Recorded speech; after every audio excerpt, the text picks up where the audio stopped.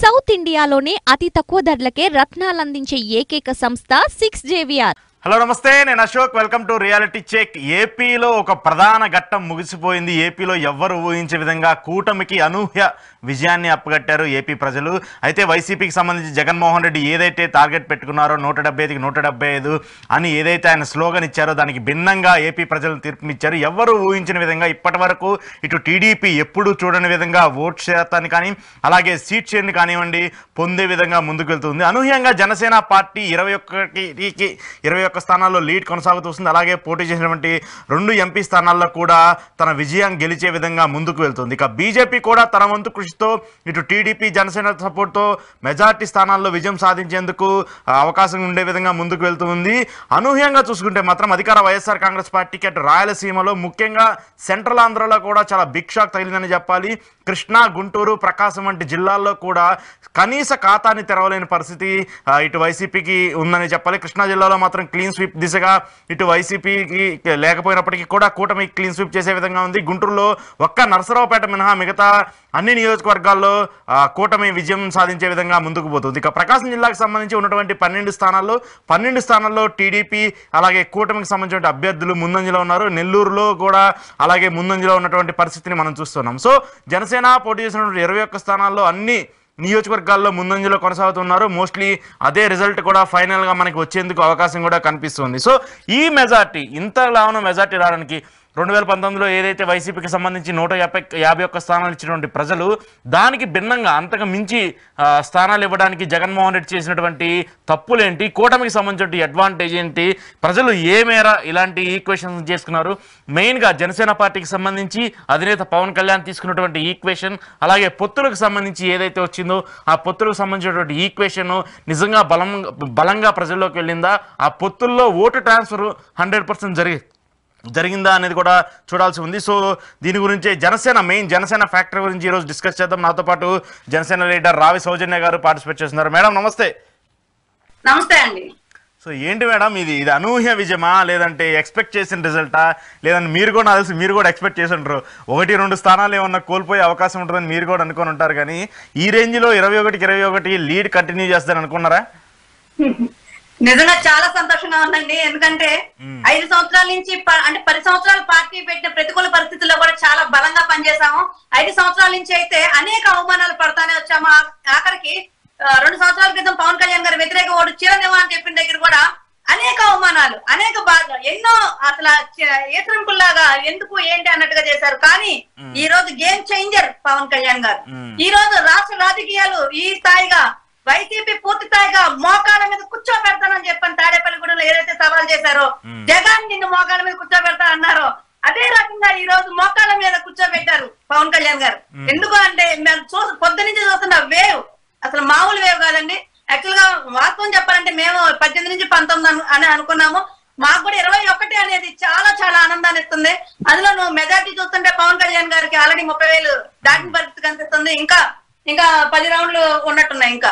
అంటే ఈ రకంగా కూటమికి అత్యధిక మెజార్టీ పవన్ కళ్యాణ్ గారికి రాబోతుంది. అలానే ఇక్కడ మనం ప్రతి ఒక్క అంశాన్ని చూసుకున్నట్టయితే మాత్రం పవన్ కళ్యాణ్ గారు ఏదైతే నిర్ణయం తీసుకున్నారో ఆ నిర్ణయాన్ని అంటే ఈ కూటమి ఎక్కడ కూడా డౌన్ అవ్వకుండా పవన్ కళ్యాణ్ గారు ఎంత తగ్గాలంత తగ్గి ప్రజల్లో నమ్మకం కలిగించారు. మేము ముగ్గురు ఒకే తాటి మీద ఉన్నాం. మేము ముగ్గురు ఒకే మాట మీద ఉన్నాం. టీడీపీ జనసేన బీజేపీ అంటే ఒకటే కుటుంబం లాంటిదని చెప్పని ప్రజల్లో నమ్మకం కలిగించారు కాబట్టి ఇలాంటి నిర్ణయాన్ని ఇచ్చారని చెప్పని మేమైతే భావిస్తున్నామండి. అలానే ఎక్కడ ఒక తల్లికి పెట్టిన బిడ్డల బిడ్డలకే అనేక ఆలోచనలు ఉంటాయి. కానీ ఒక దీంట్లో ముగ్గురు మూడు కత్తులు లాంటి పార్టీలు ఉన్నాయి. ముగ్గురు కూడా చాలా బలంగా చాలా బలంగా పనిచేశారు. ఒకరికొకరు కోఆర్డినేట్ చేసుకొని నూట నలభై నియోజకవర్గాలు నూట నలభై నాలుగు నియోజకవర్గాల్లో బీజేపీ జనసేన పనిచేస్తే ఈ ఇరవై ఒకటి ఆ పది నియోజకవర్గాల్లో టీడీపీ కూడా కోఆర్డినేట్ చేసి పనిచేసింది కాబట్టి ఈ రకమైన రిజల్ట్స్ వస్తున్నాయని చెప్పని మనం భావించవచ్చండి. నిజంగా ఏది ఏమైనప్పటికీ కూడా పవన్ కళ్యాణ్ గారు ఏదైతే రెండు సంవత్సరాల క్రితమే ఒక వ్యూహాత్మక నిర్ణయం తీసుకున్నారో ఆ నిర్ణయానికి తగ్గట్టుగానే ఈ రోజు రిజల్ట్స్ ఉన్నాయి. మనం ఆలోచిస్తే కనుక అమ్మో ఒక ఈ మూడు కనుక విడిపోతే ఏంటి పరిస్థితి ఒక నిమిషం మనకు అనిపిస్తే మాత్రం అసలు మనం ఆలోచ ఆలోచించలేని పరిస్థితి మీరు అసలు మీరు ఆ తెలియని ఆ ఊహ వచ్చి ఆ పరిస్థితి. ఊహ వచ్చిందంటే మీకు ఇంకా అందం అది ఎందుకంటే గేటు తాకనివ్వము సీటు ఎక్కనివ్వమని చేసినటువంటి ఛాలెంజ్ చేసినటువంటి మంత్రులు ఛాలెంజ్ చేసినటువంటి ఎమ్మెల్యేలు ప్రధాన లీడర్లందరూ కూడా అసలు వాళ్ళు టచ్ అయ్యే పరిస్థితి కూడా లేదు ఇప్పుడు నేను ఇంతకు ముందు బయట లో చాలా బయట రోజా గారు ఇచ్చిన కౌంటర్ బైట్స్లో గానీ చాలా బయట లో కూడా నేను ఒకటే చెప్పా. పవన్ కళ్యాణ్ గారిని తాకనివ్వన్నారు ముందు ముందు మీరు తాకుతారా లేదో చూడండి. మిమ్మల్ని తాకనివ్వకుండా చేసే బాధ్యత జన సైనికులుగా వీర మహిళలుగా మేము తీసుకుంటామని చెప్పి చెప్పాము. అదే అదే విధంగా సేమ్ అదే విధంగా ఈ రోజు అదే గేట్ తాకనివ్వకుండా ప్రతి ఒక్కరికి పవన్ కళ్యాణ్ గారి మీద ఎవరైతే విరుచుకుపడ్డారో అసలు సంబంధం లేకుండా ఆయన్ని క్రిస్టియన్ చేశారో దాని ప్రకారం దాని ప్రకారంగానే ఈ రోజు జరుగుతున్న పరిణామాలు మనం గమనిస్తున్నాం. అలానే నూట యాభై ఒకటి కూడా నేను ఫస్ట్ నుంచి చెప్తున్నానండి. నూట యాభై ఒకటిలో ఒకటి పోటీ పదిహేను మాత్రమే ఉంటుందని చెప్పని నేను అనేక డిబేట్లో చెప్పడం జరిగింది. ఆ డిబేట్లో ఆ పదిహేను కాకుండా కొంచెం పెరిగినట్టుంది. ఏమో తగ్గే పరిస్థితి కూడా ఉండొచ్చేమో. అంటే అనుకోవచ్చు జోత్యాలు చెప్తారేమో అని కానీ పవన్ కళ్యాణ్ గారిని క్రిటిసైజ్ చేసిన అవ్వచ్చు. లేదంటే ఒకటి నాలుగు సార్లు ఓడిపోయాడు ఓడిపోయాడు. అందరూ కూడా ఈ రోజు పూర్తి స్థాయిగా రాజకీయ భవిష్యత్తు లేకుండా ఇళ్ళలో కూర్చునే పరిస్థితి. ఈ రోజు రాజకీయ భవిష్యత్తు కోల్పోయారంటేనే వాళ్ళు ఎప్పటికీ కూడా మళ్ళీ అసెంబ్లీ తాకలేని పరిస్థితి ఉంటుందని చెప్పని మేము ఆల్రెడీ చెప్పాము. ఆ చెప్పిన దాని ప్రకారం ఈ రోజు జరుగుతుంది. కాబట్టి ఏది ఏదైతే పవన్ కళ్యాణ్ గారు ప్లాన్ చేశారో ప్రతి ఒక్కటి ఆయనకు అనుగుణంగానే పూర్తి స్థాయిగా జరుగుతుందని చెప్పని మేము భావిస్తున్నాము. చాలా చాలా సంతోషంగా ఉంది. ఇప్పుడు మాకు ఎన్ని సీట్లు వచ్చినాయి అనే దానికన్నా కూడా అసలు ఈ రోజు ఒక రాష్ట్ర రాజకీయాలు శాసించే స్థాయికి పవన్ కళ్యాణ్ గారు ఏంది దేనికి ఏంటి అని ప్రతి ఒక్కళ్ళు అవహేళన చేసిన పరిస్థితి దగ్గర నుంచి ఈ రోజు రాష్ట్ర రాజకీయాలను శాసించే స్థాయికి పవన్ కళ్యాణ్ గారు వచ్చే రావడంతో పాటు ఈ రాష్ట్ర ప్రజల కోసం ఆయన తీసుకునే నిర్ణయం పూర్తి స్థాయిగా ప్రజలు నమ్మారని చెప్పి అయితే మేము భావిస్తున్నాం. ఓకే. చౌదరి గారు నమస్తే. నమస్కారం నమస్కారం సార్ బాగున్నారా? బాగున్నా బాగున్నా. Congratulations thank you thank you ఊహించిన పరిణామాలు. అదే ఇప్పుడు ఏంటి పగ తీర్చుకున్నారా? లేదంటే మీరు రిటర్న్ గిఫ్ట్ ఇచ్చారా? ఏమనుకోవాలి? సార్ మొదట మీకు అలాగే ప్యానల్లో జనసేన ఆ, వీర మహిళకి అలాగే కృష్ణాని గారికి నమస్కారాలు. రాష్ట్రంలో ఓట్ల సునామీ కూటమికి వచ్చింది. అది మీరే చూశారు.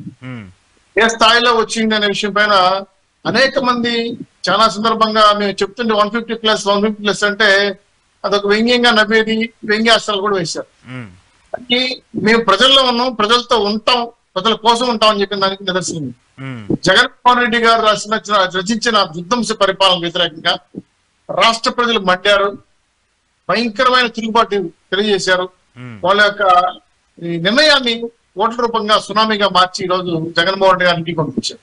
ఈ విజయం పూర్తిగా ప్రజల విజయం. దిస్ ఈస్ సెలబ్రేషన్ టైం ఎందుకు నేను మాట్లాడాల్సి వచ్చిందంటే ఐదేళ్ళుగా కష్టాలు పడిన రాష్ట్ర ప్రజలు విడుదలకు గురిదే గురయ్యారు ఇంకా అన్న మంచి రాజ్యం వస్తుంది. మామూలుగా సంక్రాంతి దీపావళి మాకు ఎప్పుడో వచ్చేది. ఈ రోజు నరక చతుర్దశి ఈ రోజే వచ్చింది. ఇంత దుర్మార్గంగా పరిపాలన చేసి రాష్ట్రాన్ని విధ్వంసం చేసి మీలాంటి జర్నలిస్టులు మాలాంటి పార్టీ నాయకులు ప్రశ్నిస్తే అరెస్టులు జైళ్ళు కేసులు ఊరికే పోస్ట్ పెడితే పోస్ట్లో ఒక ఎఫ్బీలో తీసుకెళ్ళి జైల్లో పడేయడం నాన్ బెయిల్బుల్ కేసులు పెట్టడం ఏ సంఘమైనా హక్కుల కోసం పోరాడితే అరెస్టులు చేయటం అంటే రాష్ట్రం రావణకాష్టం చేయకుండా నియంత్రిత పరిపాలన తీసుకొచ్చారు మొన్నటి వరకు ప్రజలు భయపడిపోయారు. భయపడి ప్రశ్నించాలంటే బాధపడేవాడు సైలెంట్ విప్లవం ఇది. అంటే ఎంత స్థాయిలో జరిగిందంటే మాకు నూట యాభై ఒకటి ఇచ్చారు మాకు నూట యాభై ఒకటి ఇచ్చారు ఓ బిర్రవికి గర్వంతో వెలవెల కొట్టుకున్న జగన్మోహన్ గారికి రాష్ట్ర ప్రజలు లాగి లాగి లాగి లాగి లెంకాయ కొట్టారు నూట యాభై దాకా వెళ్ళిపోయింది. ఎందుకు ఈ వచ్చిందంటే ఎవరికైనా మీకైనా నాకైనా ఆత్మవాన్ అనిపిస్తుంది. తల్లిని చెల్లిని మాట్లాడొచ్చా సార్? శాసనసభలో ఒక ప్రతిపక్ష నాయకుని భార్యని మాట్లాడింది కొంతమంది బూత్ మంత్రులు చెప్పలాని మాటలు మాట మీరు కానీ కానీ ఇవన్నీ మాట్లాడడం అంటే నా నా నోరు ఆ, దబ్బవుతుంది ఇంకా మీకు అంతకంటే ముఖ్య విషయం తెలిసిన? ఈ రాష్ట్రంలో కర్నూలు సాగుకు వంద కారణాలు అన్నట్టు జగన్మోహన్ రెడ్డి పత్రానికి ఆరు కారణాలు. ఒకటి ల్యాండ్ టైటిల్ యాక్ట్ తీసుకొచ్చి ఎత్తున పెట్టుకున్నాడు భస్మాసురం వస్తాయి ఉమ్, అనవసరంగా నిరుద్యోగులతో పెట్టుకుని డిఎస్సి విషయం మాట్లాడాడు రెండో కారణం. మూడు ఉద్యోగస్తుల్ని సిపిఎస్ ఇస్తాను మోసం చేశాడు. వాళ్ళకి వాళ్ళకి వాళ్ళు పెట్టుకున్న దా పెట్టుకున్న లోన్ నిధులు కూడా చేసుకున్నాడు నెంబర్ ఫోర్ డ్వాక్రా మహిళలకి లక్షాధికారులు చేస్తా అన్నాడు. వాళ్ళు దాచుకున్న డబ్బులు తీసుకెళ్ళిపోయాడు. మద్య నిషేధం చేస్తాను ఆడవాళ్ళు ఏమని ఇచ్చాడు. అది నష్టం తీసుకొచ్చి పెట్టాడు. రాష్ట్రానికి హోదా చేస్తానని చెప్పి రాష్ట్ర ప్రజలు మోసం చేశాడు. ఇంతకన్నా ముఖ్యమైన బలమైన కారణం తెలిసిన సొంత కుటుంబ సభ్యుల్ని తల్లిని చెల్లిని దూరం పెట్టి బాబాయ్ అని చెప్పిన దోషులు పెట్టుకోకుండా దోషుల్ని కాపాడాడు. ఇది సొంత కుటుంబ సభ్యుల్నే కాపాడలేని ముఖ్యమంత్రి రాష్ట్ర ప్రజలు ఏం కాపాడతారని పెద్ద ప్రశ్న. ఇది తెలియకుండా ప్రజల్లో భయంకరంగా ట్రోల్ జరిగింది. ఇంతకన్నా బాధ కలిగి ఇంతకన్నా బాధ కలిగిన విషయం ఏం తెలిసిన? రాష్ట్రంలో నూట యాభై సీట్లు ఇచ్చిన ఆయన కిచ్చుకుంటే కూడా డౌట్ వస్తుంది. జగన్మోహన్ గారు. ఎందుకంటే నూట యాభై సీట్లు నాకే తెలియదు. అమ్మ ఎట్టొచ్చింది అని తెస్తే వచ్చింది. అంత మెజార్టీ జగన్మోహన్ రెడ్డి గారు. పూర్తిగా ప్రజలకు దూరం అయిపోయి ఏదైతే పాదయాత్ర కలిసి అందరిని కలిసి భుజాల మీద చేసుకుని ఎత్తున డబ్బులు పెట్టిన కనుక మర్చిపోయాడు. ఒక్కరిని కూడా దగ్గర రానికుండా నేల విడిచి సాగులాగా పూర్తిగా గొడవలు కేసు పరిమితం అయిపోతూ ప్రజలకు దూరం అయిపోయాడు జగన్మోహన్ రెడ్డి. ఈ విషయాలు గమనించాల కర్ణుడికి ఆ విధంగా వంద కారణాలు ఈయనకి ఆరు కారణాలు. ఈ కారణాలను పూర్తిగా ఈయన పతనానికి కారణమై రెండు సామాన్యుని ప్రశ్నిస్తే ప్రతిపక్షాలు మాట్లాడితే ఎంత చులకనగా చూసేది కాకుండా గర్వం ఏ స్థాయికి వెళ్ళిందంటే ఎస్టీ ఎస్సీలు చంపి డోర్ డెలివరీ తీసుకెళ్ళిపించారు. బీసీలు రక్తం లేకుండా చేసిపోయింది ముస్లింస్కి ఏవైతే ఫ్యామిలీ చేసి పోగొట్టేశాడు ఈ అంశాలు కాకుండా కార్పొరేషన్ పూర్తిగా బీసీ కార్పొరేషన్ చిన్నలాచారం చేసి పారేశాడు. సో ఎక్కడ ఎవరు ఏం మాట్లాడాలన్న భయం. ఇంకో విషయం ఇవన్నీ మనం చూస్తూ వచ్చాం. ఐ- ఐదేళ్ళుగా ఇవన్నీ మాట్లాడుకుంటూ వచ్చాం. మీరేమనుకుంటున్నారు? ఇంత మెజారిటీ రావడానికి జగన్మోహన్ రెడ్డికి అంత పడిపోవడానికి మీరు ఇంతగా లెగవడానికి కారణం ఏమనుకుంటున్నారు? మీరు ఇచ్చిన మేనిఫెస్టో అనుకోవాలా? లేదంటే జనసేన పవన్ కళ్యాణ్ ఫ్యాక్టర్ అనుకోవాలా? లేదంటే జగన్మో జగన్మోహన్ రెడ్డి ఇచ్చినటువంటి మేనిఫెస్టో సరిగా లేకపోవడం అనుకోవాలా? ఎస్ మంచి మాట చెప్పాడు జనసేన తెలుగుదేశం పార్టీ బీజేపీ కుటుంబం కట్టినప్పుడు చాలా మంది చాలా రకాలుగా మాట్లాడారు మీరు కలవరు వీళ్ళు ఓట్లు ట్రాన్స్ఫర్ కావు వీళ్ళు ఒకరి మాట ఒకరు పొత్తు కుదరదు సీట్లు సర్దుబాటు కాదు అనేక అంశాలపైన డిబేట్లు చూశాను కానీ మీరు చెప్పినవన్నీ మాకు హెచ్చరిక అయింది ఓహో ఇలాంటి అంశం వస్తుందని పర్ఫెక్ట్గా సైంటిఫిక్గా జనసేన తెలుగుదేశం పార్టీ బీజేపీ ఓట్లని ట్రాన్స్ఫర్ పెట్టాం. అది చాలా భారీగా జరిగింది. చాలా మంది తెలియదు బయట వాళ్ళకి తెలియదు ఆ విషయం. మేము ముగ్గురు కూర్చొని మన ఓటింగ్ ప్యాటర్న్ని పవన్ కళ్యాణ్ గారు ఏదైతే చెప్పారో ప్రభుత్వ వ్యతిరేక చెల్లలేకుండా దాన్ని అడ్డుకట్టేసి మన ఓట్లు ఖచ్చితంగా ట్రాన్స్ఫర్ చేయాలని చెప్పి మా యువకం ఎత్తుకడేసింది రాష్ట్రంలో చాలా మంది మేధావులు సహకరించారు. ఐటీ ఎంప్లాయీస్ దేశ విదేశాల నుంచి వచ్చారు పక్క రాష్ట్రం నుంచి వచ్చారు. వీళ్ళందరికీ దిశానిర్దేశం ఇచ్చాం. ఒక గ్రామానికి వెళ్ళిన ఐటీ ఎంప్లాయీ మీరు ఈ విధమైన నిర్ణయం తీసుకోండి ఇలా పనిచేయండి అని చెప్పి మీకు తెలుసో తెలీదో ఒక మూడు వేల మంది ఐటీ ఎంప్లాయీస్ ఎవరికీ తెలియకుండా విలేజ్లో పనిచేసేసారు ఇది ఓటు ట్రాన్స్ఫర్కి సంబంధించిన ప్రధాన అంశం. ఈ అంశాలతో పాటు మా పార్టీ నాయకులు ఏదైతే గతంలో ఛాలెంజ్గా తీసుకొని పనిచేశారో ఈ యొక్క మా మేనిఫెస్టో ఆ మేనిఫెస్టోలో మార్పులు జనంలోకి తీసుకెళ్ళగలిగే బలంగా. మా నాయకులు మా ప్రతినిధులు మా కార్యకర్తలు మా అభ్యర్థులు. సూపర్ పిక్స్ కానీ మారిన మేనిఫెస్టో కానీ జనంలోకి తీసుకెళ్ళడంలో సక్సెస్ అయ్యారు. మా యొక్క యుద్ధ నీతి అంటే పోల్ మేనేజ్మెంట్ ఎలక్షన్ మేనేజ్మెంట్ అలాగే సోషల్ ఇంజనీరింగ్ వీటిపైన మంచి పట్టున్న నాయకుల్ని మేము ఒక టీమ్ ఏర్పాటు చేయడంతో ఎక్కడైతే మనకు తక్కువ ఉన్న ఓట్లు తగ్గుతాయో ఎక్కడైతే మనకు పెరుగుతాయో విషయాలపైన కరెక్ట్గా అంచనా వేసాం. అక్కడ ఎక్కడ కొట్టాలో అక్కడ కొట్టాం. దీంతో పాటు జగన్మోహన్ రెడ్డి గారి మీద ఉన్న అసంతృప్తిని ఉంది కానీ క్యాచ్ చేసుకోవాలి. జగన్మోహన్ రెడ్డి వ్యతిరేక ప్రభుత్వ వ్యతిరేక ఓటు ఉంది కానీ క్యాచ్ చేసుకోవాలి కదా. చాలా పార్టీలు పెట్టారు జడి లక్ష్మణ అనే పార్టీ పెట్టా సరళమ్మ గారు కాంగ్రెస్ పెట్టా ఇవన్నీ చెడిపోతాయని భయంతో కొంచెం కంగారు పడ్డాం. కానీ ప్రజలకి నచ్చపడంతో గెలుపు మన భారతదేశానికి మన దేశానికి అవసరం కాబట్టి ఈ రాష్ట్రం బాగుపడితే మన దేశం కూడా బాగుపడుతుంది చెప్పడంతో బీజేపీ కలిసి రావడంతో జనసేన ఓట్లు ఎయిటీన్ ప్లస్ ఉన్న యువత యువకులతో కూడా ఉత్సాహంగా రావడంతో సో ఓట్ల సునామీ ఇరవై రెండు శాతం ఓట్లు పోలేయంటే మాకు ఆశ్చర్యం అయిపోయింది. ఎందుకంటే చాలా మంది ఎనభై రెండు శాతం పెళ్ళి కోల్పోయిందంటే మాకు వచ్చేసింది మాకు వచ్చేది చెప్పుంటారు కదా నైట్ రాత్రి పన్నెండు గంటలు పడిపోయి ఓట్లు వేశారు. మాకే పడింది. ఈ పెద్ద కన్ఫ్యూషన్లో మీకు చాలా క్లియర్గా ఉంది మనం చేసిన ఇంపాక్ట్ చాలా బాగా పనిచేసింది. ఓట్లు మనకే పడ్డాయి. ధైర్యంగా మేము. చాలా నేను చాలా debate one fifty plus one చాలా చెప్తే నవ్వేవాడు ఛాలెంజ్ చేశారు. చాలా మంది చూశారు. అది కరెక్ట్ కాబట్టి ప్రజల నుంచి వచ్చిన ఆ నిర్ణయం ప్రజా తీర్పు మా మీద బాధ్యత పెంచింది బరువులు పెంచాయి. ఏదైతే కట్టుబడి మాట ఇచ్చామో మాట నిలబెట్టుకోవాలి. మా మీద ఈ రోజు ప్రజలు విశ్వసించి పెట్టిన బాధ్యత చాలా బలమైంది. ఖచ్చితంగా చేయకపోతే ఎటువంటి తీర్పిస్తారు ఈ రోజు అనుభవం చూసాం కాబట్టి అటువంటి పరిస్థితి మళ్ళీ మనకు రాకుండా బాధ్యతయుతంగా వెలగాలి. చాలా కర్తవ్యాలు మన మీద పెట్టారు. మీరు ఇప్పుడు మీ- మీరు రెస్పాన్సిబిలిటీని చూపించాలి. ఇప్పుడు మీరు రెస్పాన్సిబుల్గా చూపించి మీ మీరు మా- రెడ్డిని ఏమన్నారు? ఇప్పుడు మామూలు మిమ్మల్ని అంటారు ప్రజలు అప్పుడు. సార్ మామూలు రెస్పాన్సిబిలిటీ లేదు సార్. అప్పుల నుంచి ఫస్ట్ బయట రావాలి. రాష్ట్రానికి రాజధాని నిర్మించాలి. పోలవరం కట్టాలి. దేశంలో అన్ని రాష్ట్రాలు సమానంగా ఆర్థిక వ్యవస్థను పెంచాలి. ఉపాధి అవకాశాలు పెంచాలి. డిఎస్సి రిలీజ్ చేయాలి. ముందు ల్యాండ్ ల్యాండ్ యాక్ట్ ముందు క్యాన్సిల్ చేయించాలి. తాత్కాలిక భవనాలని కూడా పర్మనెంట్ చేయాలి. చాలా బలమైన బాధ్యతకు వస్తుంది మూడేళ్ళలో రాజధాని నిర్మించబోతున్నాం. రెండేళ్ళలో పొలం కట్టబోతున్నాం. చాలా కాన్సన్ట్రేటెడ్గా మేము టార్గెట్ పెట్టుకుని పనిచేయించుకున్నాం. ఈ ఐదేళ్ళలో ఆంధ్రప్రదేశ్ సన్ రైజ్ ఆంధ్రప్రదేశ్గా అభివృద్ధి చేయడమే కాకుండా ఏదైతే కృష్ణాంజలి గారి చుట్టుపక్కల ఉన్న తున్నూరు ప్రాంతంలో బలదాన్ని నవనగరాన్ని నిర్మించడం కోసం ఆల్రెడీ మున్సిపల్ శాఖ మినిస్టర్ అనుకున్న మేము ఎవరైతే అనుకున్నామో వాళ్ళు ఇప్పటికే పిల్లలకి రచించేశారు కూడా. కాబట్టి మూడేళ్ళ నుంచి మొత్తం 100% రాసేసారా మ్యాప్ ఆ, అయిపోయింది. మాకు ఇంటర్నల్ తెలుసు ఎవరు. ఎవరు మున్సిపల్ శాఖ మినిస్టర్ మాకు తెలుసు. ఈ మూడేళ్ళ అమరావతిని ఎలా నిర్ణయించారో ప్లాన్ కూడా నా దగ్గర ఉంది. కాకపోతే ఇవన్నీ ముందు చెప్పకూడదు చెప్పలేదు కానీ ఇప్పుడైతే పర్ఫెక్ట్ ప్లానింగ్ వెళ్తున్నాం. కృష్ణాంజలి లాంటి మేధావులు సహాయ సహకారం తీసుకుంటాం. కృష్ణాంజలి గారు చెప్తారు ఇప్పుడు ఎవరుంటే బాగుంటుందా అని మున్సిపల్ మినిస్టర్. కృష్ణాంజలి గారు? తప్పేం కాదు సార్ చెప్పి తప్పే ఉంది కానీ మున్సిపల్ మినిస్టర్ నారాయణ గారు మీకు ఓపెన్గా చెప్తున్నా అది కూడా మేము ఆల్రెడీ మాకు తెలుసు కాబట్టి చెప్పేస్తున్నాను.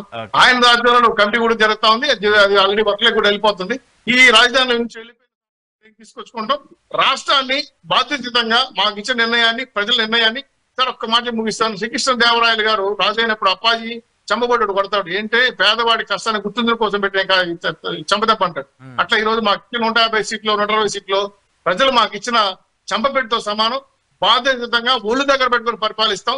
అప్పుడే రాజ్యాన్ని రాష్ట్ర ప్రజల్ని కాపాడగలగది మితిమీరి అధికారంతో అధికార మతంతో తిక్కుమాల నిర్ణయాలు తీసుకుంటే మాత్రం పక్కోడి బట్టి గీత మాగుపడుతుంది కాబట్టి అన్ని రకాలు చెప్తున్నాను. బాధ్యతమైన పరిపాలన. దీన్ని నేను దీన్ని నేను హండ్రెడ్ పర్సెంట్ ఒప్పుకుంటా. మీరు అన్న పాయింట్ అప్పుడు రెండు వేల పంతొమ్మిదిలో ఏదైతే ప్రజలు తీర్పునిచ్చారో దాన్ని మళ్ళీ జగన్మోహన్ రెడ్డి ఆ తప్పు చేశాడు కాబట్టి ప్రజలు ఇప్పుడు ఆ తీర్పు ఇచ్చారు మీరు మళ్ళీ దాన్ని కంటిన్యూ చేయమని మీరు చెప్తున్నారు కాబట్టి ఇది hundred percent valid point Krishnanjay గారు నాకు ఒకటి పాయింట్ క్లారిటీగా క్లియర్ చేయండి. Man of the match Pawan కళ్యాణ్కి నేను ఇస్తాను. మీరు దానికి సపోర్ట్ చేస్తారా లేదా? ఎందుకంటే గతంలో రెండు వేల పంతొమ్మిది ఎన్నికల్లో అరవై నియోజకవర్గాల్లో టీడీపీ పార్టీని ఓడించింది జనసేన. ఇప్పుడు అరవై నియోజకవర్గాల్ని తిరిగి ఇప్పుడు కూటమి విజయం సాధించింది. అరవై నియోజకవర్గాల్లో టీడీపీ గెలిచింది. ఇప్పుడు పవన్ కళ్యాణ్ గారు కలవటం వల్లే అరవై నియోజకవర్గాలు టీడీపీకి వచ్చినాయి అనుకోవాలా? ఇక్కడ man of the match Pawan Kalyan కాదా అనేటువంటి విషయాన్ని మీకు నాకు మన మధ్య ఏ విభేదాలు ఉండవు. మనం ఖచ్చితంగానే అంచనా వేయగలం. ఈ ఒక్క మాట శ్రీనివాస్ చౌదరి గారి నోటి నుంచి కూడా విన్న తర్వాత నేను కంటిన్యూ చేస్తాను. నిజంగా man of the match Pawan కళ్యాణ్కి ఇస్తారా లేక చంద్రబాబు నాయుడు? ఆ, సార్ ఇక్కడ యుద్ధంలో కర్ణుడు గొప్పోడా అర్జునుడు గొప్పోడా భీముడు గొప్పోడా అని మీరు చెప్పలేము సార్.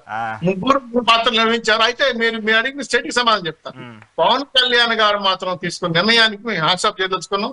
ఆయన మ్యాన్ ఆఫ్ ది మ్యాచ్ కావడానికి కారణం ప్రభుత్వ వ్యతిరేక ఓటును చేల్చలేకుండా ఏదైతే చెప్పాడో ఆ మాట కట్టుబడ్డాడు. అభిమన్యులాగా యుద్ధంలో గెలిచినా గెలవకపోయినా నేను మాత్రం విజయం సాధిస్తానని చెప్పాడు. ఆ విధంగా కట్టుబడ్డాడు కాబట్టి నేను కూడా మ్యాన్ ఆఫ్ ది మ్యాచ్ ఇవ్వడానికి సహకరించడానికి నా పూర్తి సహకారాలు పవన్ కళ్యాణ్ గారికి చెప్తాను. Right right. చెప్పండి. ఎందుకంటే రెండు వేల ఇరవై నాలుగు ఎన్నికలు అనేటువంటిది పవన్ కళ్యాణ్ కేంద్రంగా ఆంధ్రప్రదేశ్ రాజకీయాల మొత్తాన్ని కూడా పొలిటికల్ గేమ్ చేంజర్ లాగా పవన్ కళ్యాణ్ నిలిచారు ఉమ్, అది ఎప్పుడైతే రెండు సంవత్సరాల క్రితం జనసేన పార్టీ ఆవిర్భావ సభలో ఆయన ప్రకటించిన జే- మేం ప్రభుత్వ వ్యతిరేక ఓటు చీలనే పోను వైఎస్ఆర్ కాంగ్రెస్ పార్టీ ఓటమే జనసేన లక్ష్యం అని ఆయన ప్రకటించిన దగ్గర నుంచి ఆ దిశగా ప్రయత్నాలు చేశాడు. అప్పుడు జన వాడు బీజేపీతో పొత్తులో ఉన్నారు. కానీ తెలుగుదేశంతో బీజేపీకి కొసగనటువంటి పరిస్థితి. అలాంటి పరిస్థితుల్లో రెండు సంవత్సరాల పాటు ఆయన ఉమ్, తెలుగుదేశం పార్టీకి సంబంధించినటువంటి విషయం. ఉమ్, బీజేపీని తెలుగుదేశం కలపడానికి విశ్వ ప్రయత్నాలు చేశాడు.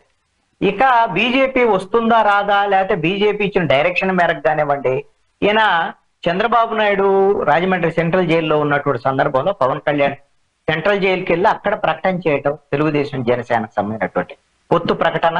అప్పటి నుంచి ఒక బేస్ అనేటువంటిది పొలిటికల్ బేస్ అనేది ఏర్పడింది. ఆ రోజు వరకు కూడా తెలుగుదేశం పార్టీ అంటే నాలుగు సంవత్సరాల కాలంలో అంటే స్థానిక సంస్థల ఎన్నికలను బైకాట్ చేస్తున్నటువంటి పరిస్థితి ఎన్నికలను నిర్వహించలేనటువంటి పరిస్థితి ఎన్నికలకు వెళ్ళలేనటువంటి పరిస్థితి కార్యకర్తల మీద దాడులు. తెలుగుదేశం జెండా భుజాన వేసుకొని బయటికి రావాలంటే కేసులు కానివ్వండి దాడులు కానీ భయపడ్డటువంటి పరిస్థితి అయితే ఉంది. దానికి భరోసా ఇచ్చినటువంటి నాయకుడు పవన్ కళ్యాణ్. ఎస్ తెలుగుదేశం పార్టీకి జనసేన అండగా ఉంటుంది అని తెలుగుదేశం పార్టీ జెండాని వాళ్ళ కార్యకర్తలు భుజాన్ని వేసుకుని బయటికి రావడానికి కావాల్సినటువంటి ఆ ధైర్యం ఇచ్చినటువంటి వాడు పవన్ ఆ తర్వాత బీజేపీ తెలుగుదేశం పొత్తుకు సమ్మినటువంటి విషయంలో కూడా ఆయన అదే అనేక సందర్భాల్లో చెప్పారు. నేను తిట్లు తిన్నాను బీజేపీకి సమ్మినటువంటి పెద్దలతో కూడా అని. అది వాస్తవం అయి ఉండొచ్చు. మరి ఆయన బయట బహిరంగానే చెప్పాడు. అంటే బీజేపీకి ఎట్టి పరిస్థితిలో తెలుగుదేశంతో పొత్తు ఇష్టం లేనటువంటి పరిస్థితిలో కూడా పవన్ కళ్యాణ్ చేసినటువంటి ప్రయత్నం ఫలించింది. మీరు ఇప్పుడు గమనిస్తే ఈ విధమైనటువంటి వన్ సైడ్ ఒక వేవ్ కనపడటానికి పవన్ కళ్యాణ్ వేసినటువంటి బేస్ ఒకటి పొత్తు పవన్ కళ్యాణ్ పొత్తు ఒకటి జనసేన తెలుగుదేశం పొత్తు ఒకటి అయితే బీజేపీ పొత్తు పెట్టుకోవటం తెలుగుదేశంతో ఈ ముగ్గురు కలవటం అనేటువంటిది మొన్న జరిగినటువంటి ఎన్నికల తీరు అంటే ఒక వన్ సైడ్గా వెళ్ళిపోవటానికి ఉపయోగపడ్డాయి. దీని అందరికీ కేంద్రం అన్ని అన్ని కార్యక్రమాలకి అన్ని రకాల ఈ విధమైనటువంటి పరిణామ క్రమం మొత్తానికి కూడా కేంద్ర బిందువు ఎవరయ్యా అంటే పవన్. ఓకే. అది దానికి అనుగుణంగా పవన్ కళ్యాణ్ కూడా ఈ రోజున ఆ విధమైనటువంటి ఇరవై ఒక్క సీట్లో ఇరవై పంతొమ్మిదో లేకపోతే ఇరవై ఒకటి గెలిచినా ఇరవై ఒకటి గెలిచినా గెలవచ్చు. రేపొద్దున ఏం జరిగింది ఆయన పాత్ర ఏమిటి? ఉప ముఖ్యమంత్రి అవుతారా? మంత్రి అవుతారా? ఇవన్నీ కూడా వాళ్ళ ప్రభుత్వంలో వాళ్ళు తెలుసుకుంటారు. అయితే ఇక్కడ ఒక అంశాన్ని గమనించాలి. అసలు ఈ ఈ విధమైనటువంటి ఫలితాల కారణాలు ఏంటి? అని శ్రీనివాస్ చౌదరి గారిని అడిగినప్పుడు ఆయన ఆరు కారణాలు పెట్టి చెప్పేసి కొన్ని కారణాలు చెప్పాడు. ఆరో పన్నెండో చెప్పాడు అన్ని కారణాలు కూడా వైఎస్ఆర్ కాంగ్రెస్ పార్టీకి వ్యతిరేకంగా జగన్మోహన్ రెడ్డి విధానాలకు వ్యతిరేకంగా అంటే ఎన్నికలు ఎలా జరిగాయంటే వైఎస్ఆర్ కాంగ్రెస్ పార్టీని ఓడించటమా గెలిపించటమా? దీని మీదే జరిగాయి. ఈ ముగ్గురు కలవటం అనేటువంటిది ఎంత ఏ విధంగా పనిచేసిందో వైఎస్ఆర్ కాంగ్రెస్ పార్టీ ఫెయిల్యూర్ కూడా వీళ్ళకి ఆ విధంగా సహకరించినటువంటి పరిస్థితి ఎప్పుడైతే మొన్న ఎన్నికల వరకు కూడా మీరు సిద్ధం సభలు అన్ని జరిగేంత వరకు కూడా చిలకలూరుపేట మొట్టమొదటి కూటమి బహిరంగ సభ జరిగే ఆ- సమయానికి కూడా ఈ కూటమికి కావాల్సినటువంటి గెలుపుకు కావాల్సినటువంటి ఒక క్లారిటీ పిక్చర్ అనేది లేదు. ఎప్పుడు వచ్చింది ఆ పిక్చర్ అనేటువంటి దాన్ని? ఈ వేవ్ ఇంత ఉంది అంటే ఎప్పుడు స్టార్ట్ అయింది అంటే అందరూ అంటున్నారు ఈ విధంగా వైఎస్ఆర్ కాంగ్రెస్ పార్టీ ఓడిపోతోంది అని అంటే ఓ- ఓ ఈ విధమైనటువంటి సంక్షేమ పథకాలు ఇవి సరిపోవు సంక్షేమ పథకాలకు ప్రజలు ఓటు వేయలేదు అని అంటారు. నేనంటాను సంక్షేమ పథకాలకే ఓటు వేశారు అంటున్నాను. అందుకే కూటమి గెలుస్తుంది అంట అది ఎలా అంటే మీరు జగన్మోహన్ రెడ్డి మేనిఫెస్టోని ఒకసారి గమనించండి. ఇప్పటి వరకు ఇస్తున్నటువంటి సంక్షేమ పథకాలను ఇంకొంత మెరుగ్గా నిర్వహి చేస్తానన్నాడు తప్ప కూటమి ఇచ్చినటువంటి హామీలు అప్పటికే కూటమి already super six Telugu Desam super six ప్రకటించు ఆ తర్వాత మేనిఫెస్టో ఇచ్చారు. ఇప్పుడు ప్రజలు ప్రజలకు ఏమిటంటే ఎవరు ఎక్కువ ఇస్తారు? ఇప్పుడు పవన్ క- జగన్మోహన్ రెడ్డి నవరత్నాల పేరుతో హామీలు ఇచ్చాడు. నవరత్నాలు ఇంప్లిమెంట్ చేశాడు. ఇప్పుడు శ్రీనివాస్ రెడ్డి గారు చెప్పట్లా మేము జాగ్రత్తలు తీసుకుంటాం. మేమేం హామీలు ఇచ్చాము దగ్గర పెట్టి ఊళ్ళు దగ్గర పెట్టుకొని మేము అవన్నీ చేస్తామని చెప్తారు. జనము ఇదే నమ్మారు. ఏ సంతకన్నా ఎక్కువ ఇస్తా అంటున్నారు ఎక్కువ ఇస్తా అన్నా తెలుగుదేశం జనసేన బీజేపీ కూటమి కావాలి మాకు. ఎందుకు? మూడు వేల నుంచి ఏదో రెండు వేల ఇరవై ఎనిమిది ఇరవై తొమ్మిదిలో నేను మూడు వేల ఐదు వందల పెన్షన్ ఇస్తా అంటే కాదు. వాళ్ళు నాలుగు వేలు ఇచ్చేస్తా ఉంటున్నారు నాలుగు వేలు కూడా మీరు గమనిస్తే మొన్న ఈ జరిగినటువంటి రెండు నెలలకు కూడా కలిపినటువంటి పెన్షన్ కూడా కలిపి పెంచినటువంటి దాన్ని నాలుగు వేలు పెంచుదాన్ని మూడు నెలలు కలిపి ఈ వచ్చేటువంటి నెలలో ఏడు వేలు పెన్షన్ ఇస్తా అని చెప్పారు ఇది ఎంత ఎంత ఇంపాక్ట్ అండి? మీరు మహిళలకి ఉచిత బస్సు కానివ్వండి లేకపోతే గ్యాస్కు సంబంధించినటువంటి ఉచిత గ్యాస్ సిలిండర్లు కానివ్వండి వీడు సూపర్ సిక్స్ కానివ్వండి ఇచ్చినటువంటి మేనిఫెస్టో చాలా ఆకర్షణీయంగా ఉంది. ప్రజలు ఆ విధమైనటువంటి సంక్షేమ పథకాలు ఎవరు మేనిఫెస్టోని కన్సిడర్ చేసే పరిస్థితి ఉంటుందా సార్? ఒక క్లియర్గా చెప్పండి. మేనిఫెస్టోని కన్సిడర్ చేసే పరిస్థితి ఉంటుందా ప్రజలు? ఇప్పుడు నేను నేను భావిస్తుంది ఏంటంటే ఇక్కడ ఇప్పుడు ఈ అవుట్ రేట్ మెజారిటీ వచ్చిందంటే జగన్మోహన్ రెడ్డి పరిపాలన వద్దు అన్న ఇచ్చారు ఇక్కడ అవుట్ రేట్ పరిపాలన. ఇప్పుడు జగన్మోహన్ రెడ్డి పరిపాలన అప్పుడు ఏంటి చంద్రబాబు నాయుడు వద్దు మాకు జగన్ కావాలన్నారు. ఇప్పుడు జగన్ వద్దు మాకు కూటమి కావాలని చెప్పేసి ప్రజలు యాక్సెప్ట్ చేశారు. ఇప్పుడు ఎంతవరకు మేనిఫెస్టో ఇంప్లిమెంటేషన్స్ ఉంటాయి? రెండు వేల పద్ పద్నాలుగు ఎన్నికల్లో చంద్రబాబు నాయుడు గారు రైతు రుణమాఫీ అని చెప్పారు అప్పుడు ఫెయిల్ అయ్యారు. పసుపు కుంకుమ అన్నారు అప్పుడు మైనస్ అయిపోయింది. ఇవన్నీ ఈక్వేషన్స్ చూసుకున్నప్పుడు మేనిఫెస్టో కంటే కన్సల్ట్ చేసకుండా ఒక పార్టీకి ఒక పర్సన్కి ఒక వ్యక్తి కావాలా వద్దా అనే దాని మధ్య ఈ ఎలక్షన్ నడుస్తుంది అనేది నేను భావిస్తున్నా. మీరు ఇదే గమనించండి. మరి రెండు వేల పద్నాలుగు నుంచి పంతొమ్మిది వరకు ఇదే చంద్రబాబు నాయుడు కదా ముఖ్యమంత్రి. మరి ఆయన్ని అప్పుడు వద్దనుకున్నారు కదా? నేను అదే చెప్తున్నా అప్పుడు ఆయన అందుకని వ్యక్తులు ఇక్కడ ప్రధానం కాదు. అందుకని మేనిఫెస్టోకు ఉండేటువంటి ప్రాధాన్యత గతంలో ఉండేటువంటి హామీల వ్యవహారం నా నా ఉద్దేశంలో అయితే వైఎస్ఆర్ కాంగ్రెస్ పార్టీ జగన్మోహన్ రెడ్డి మేనిఫెస్టోకు ఒక ప్రాధాన్యత తీసుకొచ్చారు దాంట్లో ఎటువంటి సందేహం లేదు నవరత్నాలకు సంబంధించినటువంటి మద్యపాన నిషేధం అమలు చేయలేదని అనొచ్చు లేదా ఇంకో కొన్ని హామీలు అమలు చేయకపోతే. నవరత్నాలకు సంబంధించినటువంటి దాంట్లో సంక్షేమ పథకాలని యథాతథంగా చెప్పిన ప్రకారంగా డే వన్ నుంచి ఇంప్లిమెంట్ చేయటం అనేటువంటి చేశాడు. వీళ్ళకి అనివార్యమైనటువంటి పరిస్థితి అండి. రేపు పొద్దున తెలుగుదేశం జనసేన బీజేపీ కుటుంబం అధికారంలోకి వచ్చింది. మేము ఇంతకన్నా ఎక్కువ సంక్షేమ పథకాలు అమలు చేస్తాం. ఇవి మేనిఫెస్టో అని సూపర్ సిక్స్ పేరుతో దాన్ని క్లుప్తీకరించి నాలుగు పేజీల్లో అసలు ఆంధ్రప్రదేశ్లో ఎన్ని రకాల వర్గాల ప్రజలు ఉన్నారు? ఎన్ని రకాల కుల- కులాల ప్రజలు. అందరికీ హామీ ఇచ్చారండి. మీరు వాళ్ళ మేనిఫెస్టో చూడండి. నాలుగు పేజీల మేనిఫెస్టో కనుక గమనిస్తే అసలు ఈ వర్గానికి వీళ్ళని వదిలిపెట్టారు అని లేదండి అసలు. ప్రతి వాళ్ళకి హామీ ఆ దాన్ని బట్టి ఎస్ జగన్మోహన్ రెడ్డి చేశాడు. అయిపోయింది. నన్ను దాన్ని చూసి వదిలేయమని ఆ జగన్మోహన్ రెడ్డి ఏమంటాడు? ధీమా. ఏంటి అంటే నేను ఇంత చేశాను కదా మీకు? ఇరవై మూడు సార్లు బటన్ నొక్కాను కదా? కోటి నలభై ఐదు లక్షల కుటుంబాలకి రెండు లక్షల డెబ్బై ఐదు వేల రూపాయలు మీకు ఇచ్చాను కదా? మీరు నాకు నాకు ఇవ్వండి ఓటు అని అడుగుతున్నాడు వీళ్ళే అడిగారు మీకు అంతకంటే ఎక్కువ ఇస్తాం మీరు మాకేనా ఎక్కువ ఇస్తా అన్నటువంటి వాళ్ళకి మద్దతు ఇచ్చారు. దీన్ని బట్టి అంటే మీరు చెప్పే పాయింట్ అంటే ఇప్పుడు ఏంటి అంటే ఏదైతే జగన్మోహన్ రెడ్డి తీసుకొచ్చినటువంటి పథకాల వల్ల నవరత్నాల వల్ల ఇప్పటికే రాష్ట్రం అప్పుల పాలైపోయింది. దాన్ని తాకట్లు పెట్టి మరి ఈ నవరత్నాలకి డబ్బులు ఇస్తున్నాడు జగన్మోహన్ రెడ్డి అంటే ఇప్పుడు కూటమికి సంబంధించో టీడీపీకి సంబంధించో చంద్రబాబు నాయుడు చెప్పేది ఏంటి? మేము ఇంకా ఎక్కువ ఇస్తామంటే మరి ఇంకెక్కడి నుంచి రెవెన్యూ సంపద తీసుకొస్తారు? మళ్ళీ ఇంకా ఎక్కువ తాకట్లు పెట్టాలి కదా ప్రభుత్వ ఆస్తులు? ఏమండి ఒక రకంగా చెప్పాలి అంటే ఇస్తానంటే తీసుకోవటానికి జనం రెడీగా ఉంటారు. అంతేగాని? ఆ ఏం తాకట్టు పెడతావు? నువ్వేం ఇప్పుడు శ్రీనివాస్ చౌదరి గారు ఆయన అయితే ఆయన సొంత డబ్బులు అయితే ఇయ్యడం చంద్రబాబు నాయుడు సొంత డబ్బులు ఇయ్యడం. పవన్ కళ్యాణ్ సొంత డబ్బులు ఇయ్యడు. ఈ విషయం జనానికి కూడా తెలుసు. నువ్వు ఎక్కడైనా తీసుకురా తాకట్టు పెట్టు. అమ్ము. ఏమైంది? నాకైతే అన్నది ఇదే అడుగుతారు రేపు పొద్దున్న జనం. జనం ఇంతకన్నా నేనేదో ఈ నువ్వు పది లక్షల కోట్ల రూపాయలు అప్పు చేసావు అని చంద్రబాబు నాయుడు సంపద సృష్టిస్తా సంపద సృష్టిస్తా అంటే ఇప్పుడు చూస్తాం కదా ఏ సంపద సృష్టిస్తారనేది. అప్పులు అనేది కామన్గా చేసేటువంటి ప్రక్రియ. రేపొద్దున కూడా ఇంతకన్నా ఎక్కువ చేయకుండా వాళ్ళు ఏమి ఈ సంక్షేమ పథకాలు అమలు చేసేటువంటి పరిస్థితి అయితే ఉండదు. ఒకటి మేనిఫెస్టో దగ్గర జగన్మోహన్ రెడ్డి ఫెయిల్ అయ్యాడు. రెండో అంశం ఏంటంటే ఉద్యోగుల విషయం తీవ్రమైనటువంటి వ్యతిరేకత అనేటువంటిది. చాలా స్పష్టంగా అది పోల పోలి మన పోస్టల్ బ్యాలెట్లో కనపడేటువంటి పరిస్థితి ఉంది. ఇప్పుడు యాభై ఐదు లక్షల పైన ఓట్లు అని అంటే మామూలు విషయం కాదు కదా.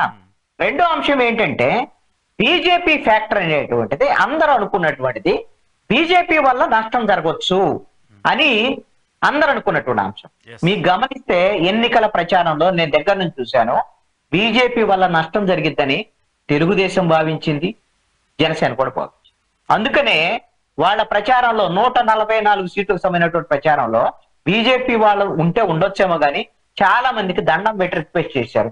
మీ రెండి ప్రచారానికి మీ మీ కండబ వేసుకొని రావద్దని. అదే విధంగా నరేంద్ర మోడీ పాంప్లెట్ ఫోటో లేకుండా వీళ్ళ సూపర్ సిక్స్ కానివ్వండి ఇవన్నీ కూడా. పట్టుకోవడానికి కూడా బీజేపీ సహకరించలేదు సార్. ఆహా బీజే వీళ్ళు కూడా వీళ్ళు కూడా వద్దనుకున్నారండి ఆ. లేదు వీళ్ళు కూడా వద్దనుకున్నారు. ఎందుకు అంటే బీజేపీ వల్ల ఆ విధమైనటువంటి ఆంధ్రప్రదేశ్లో నష్టం ఉండేటువంటి పరిస్థితులు ఉన్నాయి. భయపడ్డారు తెలుగుదేశం. కానీ ఆంధ్రప్రదేశ్ ప్రజల వైపు నుంచి అయితే బీజేపీ అనేటువంటి ఫ్యాక్టర్ నష్టం జరిగేదానికన్నా కూడా బీజేపీ మీద సెంట్రల్ గవర్నమెంట్లో మళ్ళీ బీజేపీ రాబోతుంది. అక్కడ రామ మందిరికి సంబంధించినటువంటి గుడ్ విల్లు ఆ విధమైన ఫ్యాక్టర్స్ అన్ని ఇక్కడ కూడా ఎంతో కొంత పాజిటివ్గా పనిచేసినాయి ముస్లిం ఓట్లు ముస్లిం రిజర్వేషన్లకు సంబంధించినటువంటి అంశం. మరి చంద్రబాబు నాయుడు పవన్ కళ్యాణ్ ఏం బతిలాడుకున్నారో తెలియదు ఎక్కడా కూడా ఆంధ్రప్రదేశ్కు వచ్చినటువంటి ఆ, నరేంద్ర మోడీ కానివ్వండి లేకపోతే కేంద్ర మంత్రులు కానీ ఎవరైనా ముస్లిం రిజర్వేషన్లు మేము ఇవ్వము మేము వ్యతిరేకమని ఆంధ్రప్రదేశ్లో చెప్పారా? చాలా చోట్ల మేము పక్కనే వెళ్ళిన తెలంగాణలో కూడా చెప్పారు. ఆంధ్రప్రదేశ్లో చెప్పలా ఎందుకంటే ఆ విధమైనటువంటి జాగ్రత్తలు తీసుకున్నారు. ఆ విధమైనటువంటి జాగ్రత్తలు తీసుకోవటం వల్ల ఎక్కడికక్కడ సర్దుబాట్లు చేసుకోవటం వల్ల ఎందుకు అని అంటే బీజేపీకి కూడా ఆంధ్రప్రదేశ్లో ఎంత కొంత పాగా వేయాలి అనేటువంటి ఒకటి. తెలుగుదేశం జనసేనకం ఎట్లయినా సరే వైఎస్ఆర్ కాంగ్రెస్ పార్టీని ఇప్పుడు గిన ఓడించలేకపోతే అసలు మనం ఓడించలేము అనేటువంటి ఒక భయం. అందుకని ముగ్గురు కూడా కలిసి ముందుకెళ్ళటానికి పనిచేసింది. ముగ్గురు కలిసినటువంటి బలంతోనే ఈ రోజున ఈ వేవ్ క్రియేట్ అయింది. వైఎస్ఆర్ కాంగ్రెస్ పార్టీ మీద ఉండేటువంటి వ్యతిరేకత అంటే జగన్మోహన్ రెడ్డిని దించటమా ఉంచటమా అనేటువంటి ఎజెండా మీద ఎన్నికలు జరిగాయి. జగన్మోహన్ రెడ్డి దించాలని రాష్ట్ర ప్రజలు అనుకున్నారు. ఆటోమేటిక్గా చంద్రబాబు నాయుడు పవన్ కళ్యాణ్ బీజేపీ వాళ్ళు ఎక్కుతున్నారు తప్ప వీళ్ళు వీళ్ళంతటా వీళ్ళ అంటే వీళ్ళు వస్తే పొద్దున ఈ మాకు అవి ఇస్తారు ఇస్తారని ఆశ ఉంటే ఉండొచ్చు అక్కడ. కానీ ఇది అంత పాజిటివ్ ఓట్ అనేటువంటిది వాళ్ళు కూడా అనుకుంటారని నేను అనుకోను. ఇది ఒక రకంగా వాళ్ళకి చెంపపెట్టే కాబట్టి వైఎస్ఆర్ కాంగ్రెస్ పార్టీ. మేము జాగ్రత్తగా ఉంటామని ఇప్పుడు శ్రీనివాస్ చౌదరి గారు చెప్పారు కదా.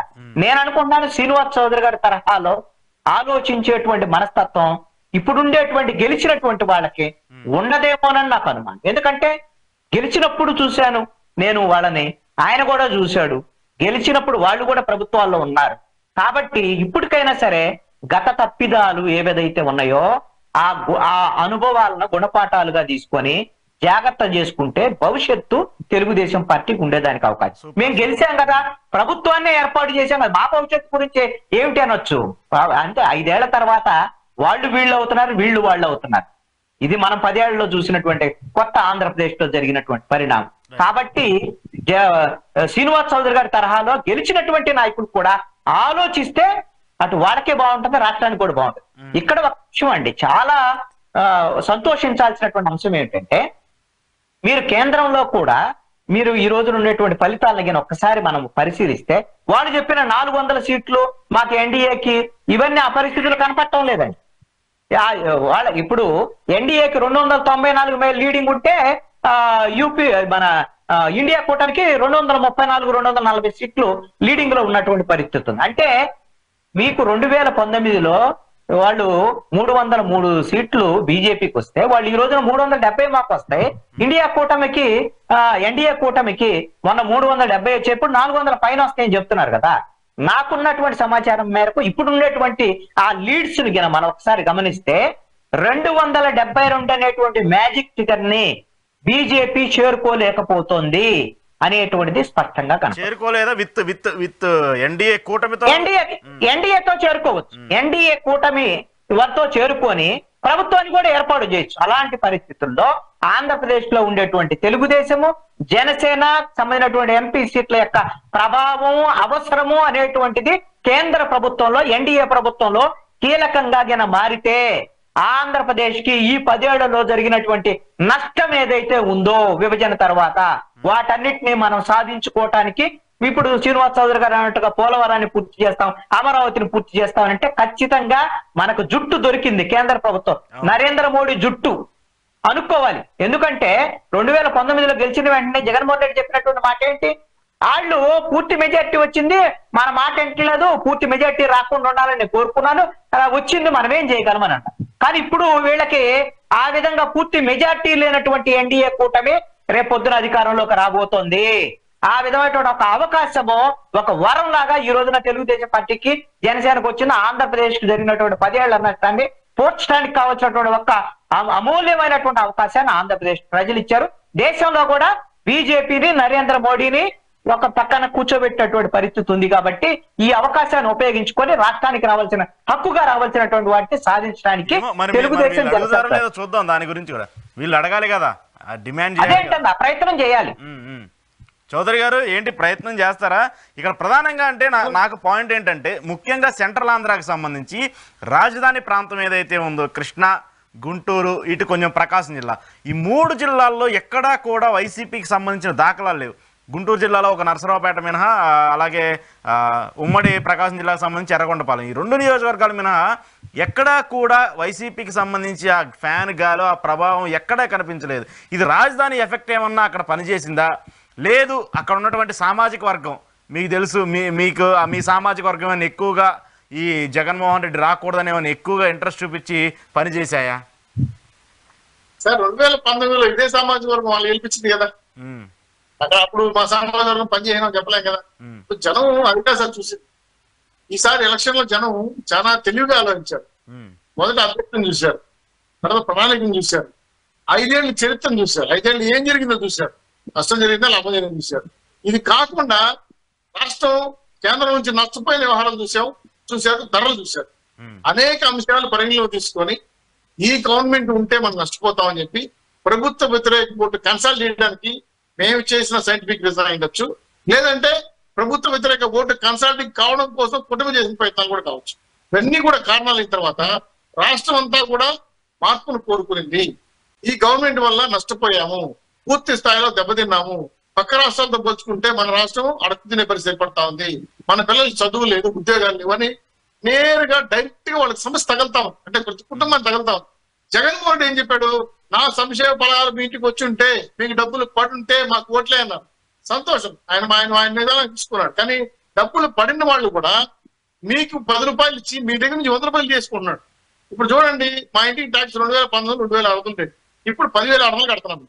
రెండు వేల పంతొమ్మిదిలో నా కరెంట్ బిల్ ఎనిమిది వందలు? ఈ రోజు నాలుగు వేలు ఇప్పుడే వచ్చింది బిల్ నాలుగు వేలు. సో మాకు ఎన్ని పథకాలు ఇస్తే మాత్రం మా డబ్బు కూర్చుంది? నెలకు నాలుగు వేలు ఎక్కడ నేను కడితే ఏమవుతుంది? సంవత్సరానికి వీళ్ళు ఇచ్చే పథకాలు ఎట్లా?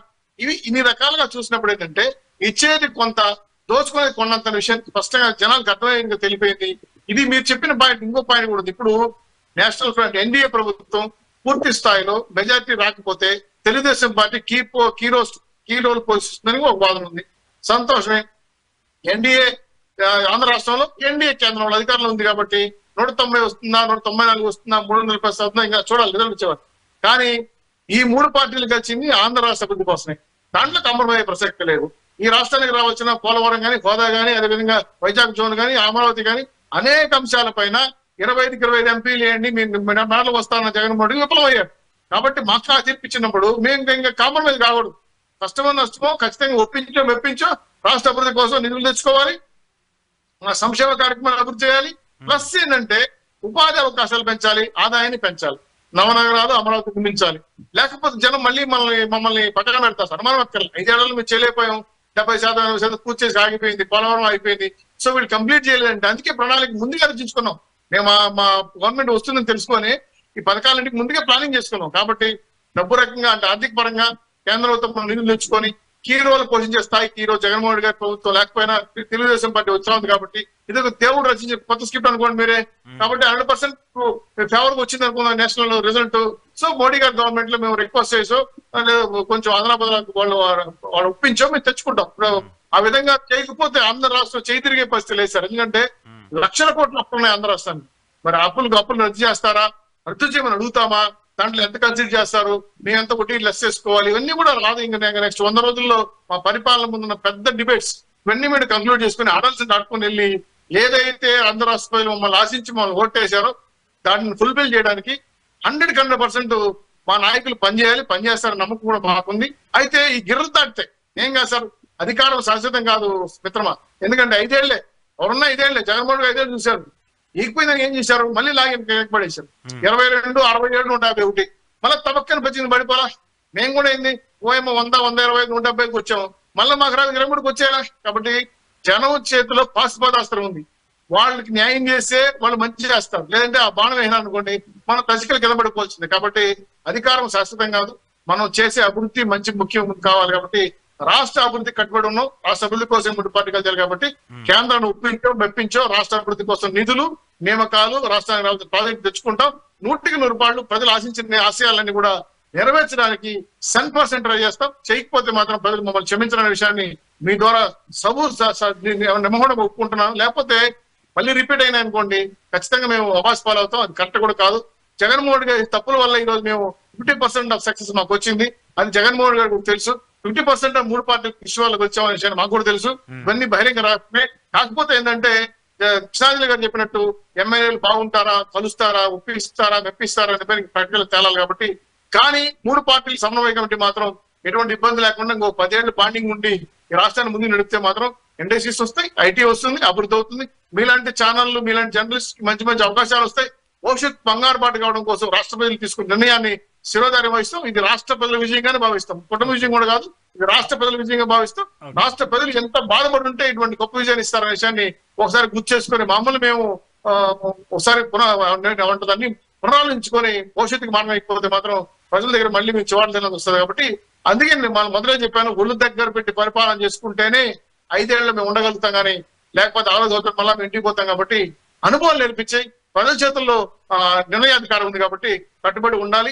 గతంలో చేసిన ప్రభుత్వ పొరపాట్లను రిపీట్ కాకుండా ఈ రోజు ఏ ఆశయం కోసం ఏ కష్టం కోసం ప్రజలు ఆశించారో ఈ సంక్షేమాలను ఇంకా పెంచుతూ ఆదాయాన్ని పెంచుతూ అమరావతి నిర్మిస్తూ ఏదైతే కళ్ళు కన్నారో ప్రజలందరూ కళ్ళని నెరవేర్చిపోతే మాత్రం కుటుంబ ఐక్యత చెడిపోతుంది కుటుంబ అభివృద్ధి కూడా చెడిపోతుంది కాబట్టి దీనికి మేము ప్రయారిటీ పెద్ద పెట్టేవాలి కేంద్రం ఖచ్చితంగా కుటుంబ నిర్ణయత్వ శక్తి మారింది కాబట్టి అవకాశాలు మెండుగా ఉన్నాయి. మరింత అభివృద్ధి చేసేందుకు అవకాశం ఉంది కాబట్టి ఏదైతే ఎన్ఆర్ఐలు ఇతర రాష్ట్రాలు ఉండే వాళ్ళు మీలాంటి జర్నలిస్టులు పెద్దవాళ్ళందరూ ఆశించి ఈ కుటుంబం వెలవాటు కోరుకున్న వాళ్ళందరూ కూడా ఖచ్చితంగా ఆసక్తిపోతే లాగి పడేస్తారు కాలు అనే విషయాన్ని మాకు స్పష్టంగా తెలుసు. అందుకే జాగ్రత్తగా మేము చేయాలనుకున్న పరిపాలనకి ముందస్తు రచన వేసుకున్నాం.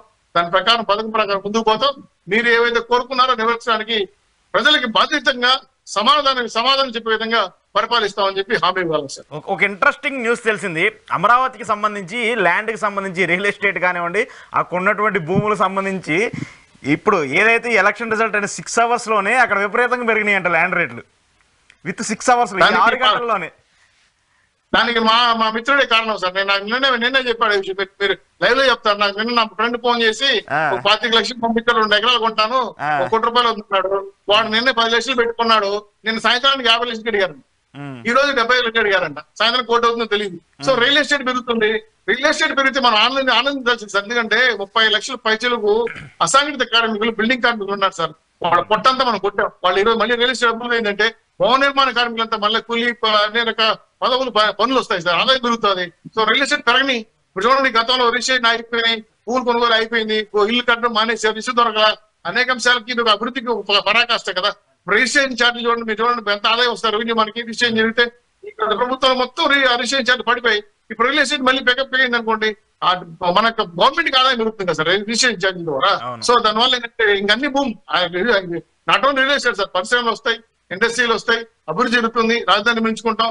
ఐదేళ్ళలో మీరు చూడండి తెలుగుదేశం పార్టీ ఏదైతే అనుకుంటా పోతుందో ప్రణాళికాబద్ధంగా మీ అందరి పేదవాళ్ళ సలహా సలహాలు తీసుకొని నూటికి నూరు పాటలు చేయడానికి హండ్రెడ్ పర్సెంట్ కష్టపడతామని చెప్పి మీ హామీ ఇవ్వాలి. రైట్ రైట్ రైట్ ఏంటి కృష్ణాంజలి గారు నీ భూముల రేట్లు పెరగటం అంటే రాజధాని అంశాన్ని ప్రజలు చాలా ప్రత్యేకంగా తీసుకున్నారు. మన ఆ రాజధాని ప్రాంతానికి సంబంధించిన ఏరియాలు కూడా చూసాము. ఆ వైసీపీకి అసలు ఎక్కడా కూడా వాళ్ళకి ఎంట్రీ కూడా ఇవ్వలేదు. ఎంట్రీ పాస్ కూడా ఇవ్వని పరిస్థితిని చూసాము. రాజధాని అంశాన్ని ఈసారి టీడీపీ ఎక్కువగా భుజానికి ఎత్తుకొని కంటిన్యూ చేసే అవకాశం ఉందా? ఎందుకంటే ఇప్పటికే విశాఖను రాజధానిగా చేస్తా అని చెప్పేసి జగన్మోహన్ రెడ్డి చేసినటువంటి కొంత నిర్ణయాలు కానివ్వండి అక్కడ చేసినటువంటి పనులు కూడా మనం చూస్తూ వచ్చాము. అమరావతి కన్సిడర్ చేస్తూ కంటిన్యూ చేస్తుందా? లేదంటే దాన్ని ఏమైనా చేంజెస్ చేసే అవకాశం ఉంటుందా? ఇప్పుడు ఆల్రెడీ తెలుగుదేశం జనసేన బీజేపీ కూటమి అధికారంలోకి వచ్చినట్టే. దాంట్లో ఏం సందేహం లేదు కదా. వాళ్ళ మేనిఫెస్టోలో పెట్టారు తెలుగుదేశం జనసేన మేనిఫెస్టోలోనే అమరావతిని రాజధానిగా కొనసాగిస్తాము. అమరావతి రాజధాని అని చాలా స్పష్టంగా మేనిఫెస్టోలోనే పెట్టారు. అసలు తెలుగుదేశము ఆ, ప్రభుత్వ హయాంలో అదేవిధంగా తెలుగుదేశం ఎజెండాలోనే అమరావతి రాజధాని అనేటువంటి అంశం ఉన్నటువంటి పరిస్థితి. ఇప్పుడు అమరావతి రాజధాని లేకపోతే విశాఖపట్నం రాజధాని అనే అంశం ఇంక ఇప్పుడు లేదు ఇక. ప్రభుత్వం కొత్త ప్రభుత్వం వస్తుంది కాబట్టి వీళ్ళ ప్రాధాన్యత అమరావతి మీద ఉంటుంది. అయితే ఈ ఎన్నికల్లో అమరావతికి ప్రాధాన్యత ఇచ్చారా లేకపోతే విశాఖపట్నానికి రాజధానికి ప్రాధాన్యత ఇచ్చారా అనేటువంటి అంశాన్ని కానీ మనం ఒకసారి గమనిస్తే ఎన్నికల్లో ప్రధానమైనటువంటి అంశంగా రాజకీయ పార్టీలు ఈ అంశాన్ని ప్రచారం చేయలేదు. వాళ్ళు మేనిఫెస్టోలో పెట్టారు కానీ తెలుగుదేశం జనసేన మిగతా అంశాలు వాళ్ళు సూపర్ సిక్స్ సంక్షేమ పథకాలకు ఇచ్చిన ప్రాధాన్యత లాస్ట్ వారం రోజుల్లో ల్యాండ్ టైటిలింగ్ యాక్ట్ మీద చెప్పినటువంటి అంశాలు తెలుగుదేశం జనసేన వీళ్ళు మిగతా ఏ అంశాలని చెప్పలేదు. అమరావతి అయితే విశాఖపట్నం లేదు. ఇప్పుడు విశాఖపట్నం రాజధాని అన్నటువంటి ఆ ఉత్తరాంధ్రలో ఏమైనా వైఎస్ఆర్ కాంగ్రెస్ పార్టీకి లాభం వచ్చిందా? మొన్న క్లీన్ స్వీప్ చేసినటువంటి విజయనగరం ఇప్పుడు ఒక సీటు గెలుస్తారా చీపురుపల్లి? ఆ బొత్స సత్యనారాయణ గెలుస్తాడో లేడో అన్నట్టుంది. ఆయనకు ఒక్కడే కనపడుతున్నాడు అవును. ఎనిమిది ఎనిమిది మెజార్టీ టీడీపీకి ఉన్నటువంటి పరిస్థితి. విశాఖపట్నం కూడా అంతే కదా? ఆ, అదే విధంగా శ్రీకాకుళం ఎలాగో తెలుగుదేశం జనసేన బీజేపీ కూటమి ఉమ్, మరి అంటే మనం దాన్ని విశాఖపట్నాన్ని వద్దనుకున్నారంటే ఒక ఒక వేవ్ అనేటువంటిది కొనసాగుతుంది ఆంధ్రప్రదేశ్లో ఆ వేవ్ ఏమిటి అని అంటే మేము మేము ఉన్నటువంటి జగన్మోహన్ రెడ్డి ప్రభుత్వానికి సంబంధించినటువంటి సంక్షేమ పథకాల కన్నా వీళ్ళు ఎక్కువ సంక్షేమ పథకాలు ఇస్తామన్నారు వాళ్ళు అసలు డెవలప్మెంట్ చేయలేదు చేయలేదు తెలుగుదేశం పార్టీ అది వైసీపీ అనేటువంటి అంశము జనంలోకి వెళ్ళింది. ఉద్యోగ ఉపాధి అవకాశాలు లేవు అనేటువంటి విషయం జనంలోకి వెళ్ళింది. చంద్రబాబు నాయుడు మొదటి సంతకం డిఎస్సి మీద చేస్తామన్నది యువతరాన్ని ఆకర్షించింది. ఎందుకు ఉద్యోగాలు లే- వాళ్ళు ఆ, ఏదైతే ప్రతి జనవరి ఒకటో ఒకటో తేదీ కల్లా జాబ్ క్యాలెండర్ అన్నది ఆయన అమలు చేయలేదంటే ఆ ఎఫెక్ట్ పడ్డటువంటి పరిస్థితి ఉంది. ఇవన్నీ అంశాల తర్వాతే రాజధాని అంశం ఉంది. అంతే తప్ప రాజధాని అంశం అనేటువంటిది ప్రధానమైనటువంటి ఎజెండాల్లో ఒక అంశంగా లేదు. కానీ ఇప్పుడు వీళ్ళు వచ్చిన తర్వాత అమరావతికి ప్రాధాన్యత పెరిగింది ఖచ్చితంగా. ఆల్రెడీ బేసెస్ ఉంది కొంతమంది స్ట్రక్చర్ కట్టి ఉన్నాయి అవన్నీ ఉన్నాయి. దీన్ని ముందుకు కొనసాగిస్తారు. ఐదేళ్ళు సమయం.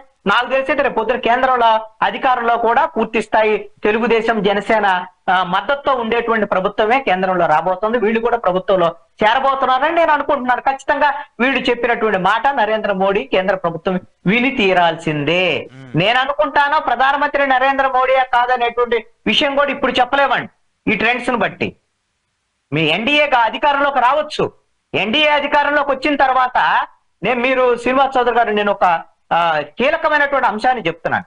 నేను ఎందుకు అనంటే ఎన్డీఏ అధికారంలోకి వచ్చినంత మాత్రాన బీజేపీకి రెండు వందల డెబ్బై రెండు మ్యాజిక్ ఫిగర్ రానప్పుడు ప్రధానమంత్రి అభ్యర్థి నరేంద్ర మోడీయే ఉంటాడా? లేకపోతే అందరికీ ఆమోదయోగ్యమైనటువంటి ఇంకొక అభ్యర్థిని ఎవరన్నా ఎన్డీఏ కూటమికి సంబంధించినటువంటి వాళ్ళు ప్రపోజ్ చేస్తారా? ఇలాంటి డైనమిక్స్ అనేటువంటిది పాలిటిక్స్లో చాలా రాడికల్గా మారేదానికి అవకాశాలు రెండు మూడు. రెండు మూడు పేర్లు కూడా వినిపిస్తున్నాయి దానికి సంబంధించి దానికి ఖచ్చితంగా ఉంటాయి. అలాంటి పరిస్థితుల్లో అలాంటి పరిస్థితుల్లో రేపొద్దున ఆంధ్రప్రదేశ్కి రాజధాని నిర్మాణానికి కావాల్సిన పోలవరం ఈ రెండు నిర్మించగలిగితే వీళ్ళు సంక్షేమ పథకాలు మళ్ళీ వీళ్ళు ఇచ్చినటువంటి హామీలు అమలు చేయకపోయినా సరే అండి నేను నేను చెప్తున్నాను.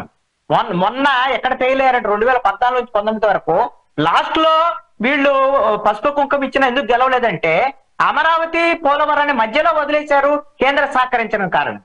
అందుకని ఇప్పుడు కానీ దాన్ని పూర్తి చేయగలిగితే వీళ్ళని నెత్తిన పెట్టుకునే దానికి అవకాశం ఉంటుంది రాష్ట్ర ప్రజలు. కాబట్టి నరేంద్ర మోడీ జుట్టు కదా. దొరికింది మీకు. జుట్టు దొరికింది.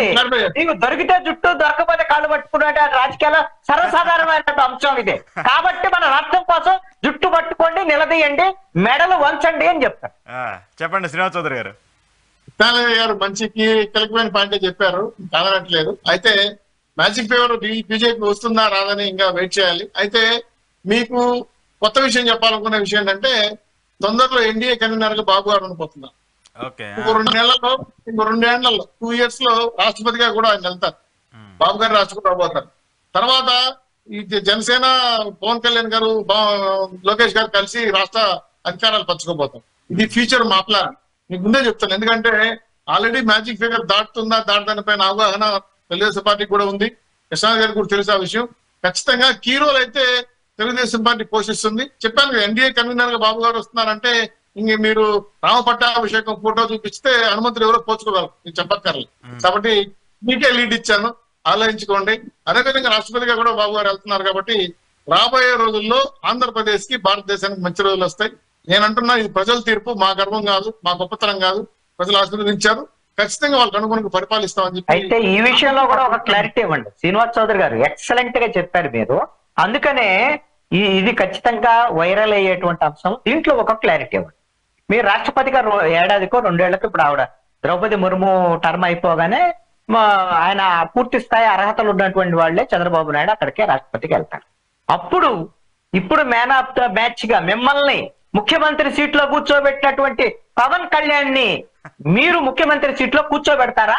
లేదు అంటే చంద్రబాబు నాయుడు ఢిల్లీకి వెళ్ళి వాళ్ళ అబ్బాయి నారా లోకేష్ను కూర్చోబెడతారు. ఏం జరిగింది? మంచి నేను నేను క్లారిఫై చేశాను మీకు అర్థం కాలేదంటే బాబు గారు ఇచ్చారు. ఆయన అక్కడికి వెళ్ళి నేను ఇద్దరు కలిసి- చేస్తారు వద్దు. ఇద్దరు కలిసి చేస్తారు ముగ్గురు కలిసి చేస్తారు. కృష్ణాంజలి గారు కృష్ణాంజలి మా బాండింగ్ పదేళ్ళు. పదేళ్ళలో ఇంకా ఐదే రెండేళ్ళకే బాబు గారు రాష్ట్రపతి పోయినప్పుడు కన్వీనర్ అయిన తర్వాత రెండేళ్ళ తర్వాత రాష్ట్రపతి పోయినప్పుడు రిమైనింగ్ డేస్ నేను చెప్తాను ఆ రిమైనింగ్ డేస్ పవన్ కళ్యాణ్ ముఖ్యమంత్రి ఉంటారు అంతే కదా? పవర్ షేరింగ్ చేసుకోవచ్చు చెప్పలేదు ఊహించలేదు ఎందుకంటే ఏవో గురం ఎగరవచ్చు. పవర్ షేరింగ్ ఇవ్వచ్చు తప్పేం కాదు కదా. ఆయన కూడా ఈ రోజు రాష్ట్రం కోసం ఎన్నో త్యాగాలు చేశాడు రాష్ట్రం కోసం నిలబడ్డాడు. ఓ ప్రభుత్వం కొట్టి చెల్చడంలో ఎన్ని అవమానాలు అయ్యాయో మేము చూసాం. ఆంధ్రాకి రానికుండా అడుక్కున్నారు పవన్ కళ్యాణ్ గారిని. మా అరెస్ట్ విషయంలో తెగించి వచ్చి మాకు మద్దతు తెలియజేశాడు. సార్ ఆపదలో ఉన్న స్నేహితుడు ఎవరైనా కాపాడిన ఏ స్నేహితుడైనా సరే సచ్చినా మరవకూడదు. ఆ విషయంలో పవన్ కళ్యాణ్ గారికి పెద్ద పేట వేస్తాం. అనుమానం అక్కర్లేదు. నేను ఆల్రెడీ మీకు చెప్పేసా లీడ్ ఇచ్చేసా సార్ ఎన్డీఏ కన్నా బాబు గారు వెళ్తున్నారు. రాష్ట్రపతికి రెండేళ్ళు అవబోతున్నారు ఇంకా రిమైనింగ్ డేస్ బాబు గారు లోకేష్ గారు పంచుకుంటాను. క్లియర్గా చెప్పేసా మీకు పవన్ కళ్యాణ్ గారు లోకేష్ గారు. సో తర్వాత పదేళ్ళు మా బాండింగ్లో ఏమైనా కావచ్చు ఆయన ఉప ముఖ్యమంత్రి కావచ్చు ముఖ్యమంత్రి కావచ్చు లోకేష్. పదేళ్ళు ఎక్కడ ఉంది శ్రీనివాస్ చౌదరి గారు మీకు పదేళ్ళు ఎవరు ఇచ్చారు ఇచ్చింది ఐదేళ్ళు ఇప్పుడు ఇచ్చారు. అంటే ఏమన్నా మీకు ఆయన ఆయన కూడా అలాగే అన్నాడు పాతికేళ్ళు చెప్పాడు.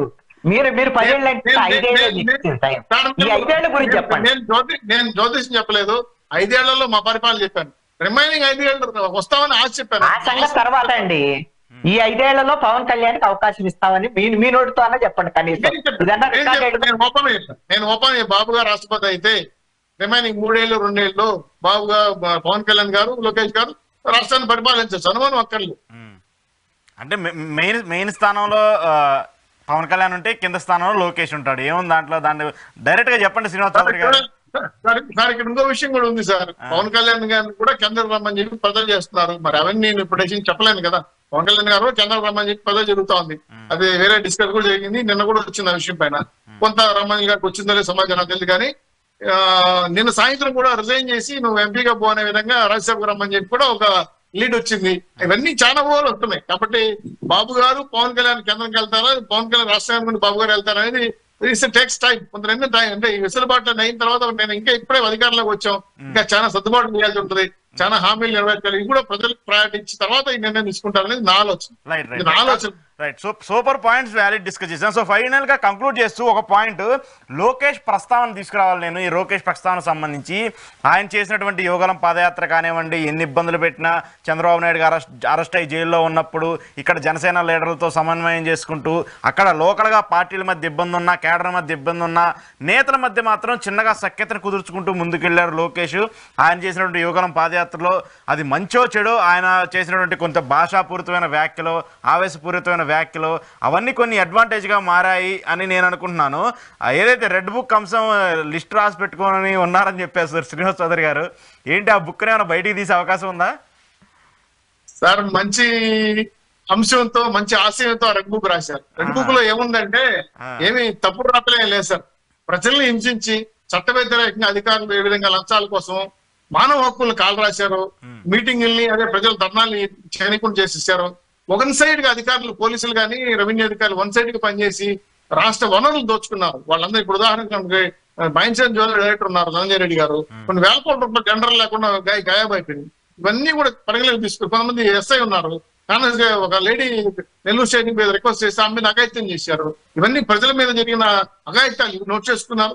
ప్రజలకి హామ్ అంటే హాని చేసిన వాళ్ళు ఎవరైనా సరే ఆ పేర్లు ఉన్నాయి. వాటి ప్రకారం చట్ట ప్రకారం తీసుకున్నా కానీ మేమేమి పాతకాలం లాగా ఎముడిలాగా కుంభిపాకము ఇంకో పాకాలు ఇచ్చే పరిస్థితి కాదు కాబట్టి చట్ట వ్యతిరేకంగా చేసే కార్యక్రమాలు కాదు సార్. రెండు బుక్కులు ఎవరైతే ప్రజల్ని హింసించారో మానవ హక్కులు కాలు రాశారో వాళ్ళ మీద చట్టపరమైన చర్యలు తీసుకుంటాం. కణాకర్షం కనీసం లూప్ లైన్లో పెట్టి మీకు శిక్ష వచ్చి మారండి ఇంకా మారండి అని చెప్తాం కానీ వైసీపీ నాయకులాగా ఒక ఐఏఎస్ ఆఫీసర్ ముసుగేసుకుని మా ఆఫీస్కి వచ్చి మమ్మల్ని చంపేసుకున్నారు ఉన్నారు సార్. ఎందుకంటే పెట్టే విధంగా చెప్పుకునే పరిస్థితి రానేము మేము మనుషులు మనుషులుగానే చూస్తాం. ఆఫీసర్లను ఆఫీసర్ చూస్తాం IAS IPS Telugu Desam party period ఎలా ఉంటారో మీ అందరూ చూసు. ఎలా చూసుంటారు. అటువంటి పరిస్థితి ఫ్రీడమ్ ఇస్తాము. మారి వాళ్ళు మంచి వాళ్ళగా ఉంటే మంచిదే కానీ మళ్ళా చెడురాట్లో పోతా ఉంటే మాత్రం ప్రభుత్వం క్షమించదు ప్రజలు కూడా క్షమించారు సార్. ఆ విషయం పైన అయిపోయింది కదా. ఆల్మోస్ట్ క్లియర్ మెజార్టీ వచ్చింది. రేపు ఎల్లుండో కూడా మనకి క్లియర్గా తెలిసిపోద్ది. దాన్ని బట్టి కూర్చుంది థ్యాంక్ యూ కృష్ణాంజలి గారు. సెలబ్రేషన్ టైం అని చెప్పాను. అదే మీకు సెలబ్రేషన్ టైమా రైట్ థ్యాంక్ యూ కృష్ణాంజలి గారు. థ్యాంక్ యూ చౌదరి గారు. రైట్ ఇది ఎగ్జ పోల్స్కి సంబంధించి రిజల్ట్స్ సంబంధించి కంటిన్యూగా ఈహా టీవీలో అప్డేట్స్ కొనసాగుతూనే ఉంటాయి. చూస్తూనే ఉండండి ఈహా